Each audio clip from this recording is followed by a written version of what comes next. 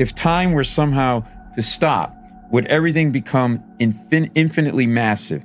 We know from relativity Yeah. that as you go faster, time slows down. Yes. And your your, And your mass mass, increases. increases. Yes. So instead of having it happen that way, let's figure out a way to slow down time. Mm-hmm. Yep. And would that then have associated with it an increase in everybody's mass? That's right. Uh, that's an interesting. I interesting think that's question. a great question.